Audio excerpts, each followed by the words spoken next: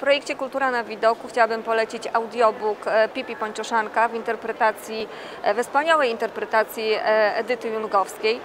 Pipi Pończoszanka towarzyszy dzieciom już od wielu lat i mam nadzieję, że będzie towarzyszyła nadal. Rozwesela, uczy, zachęca też do czytania. Może dzieci, które wysłuchają świetnej interpretacji Edyty Jungowskiej sięgną także po książkę.